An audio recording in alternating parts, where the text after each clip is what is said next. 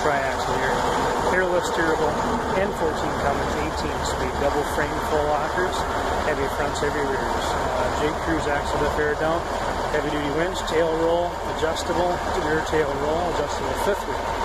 Headache rack, beacon lights, floodlights, single exhaust visor.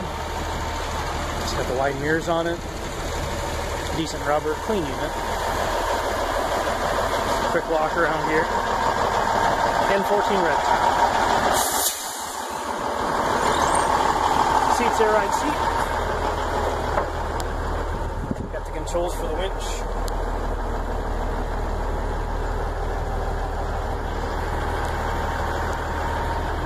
Can't forget the radio.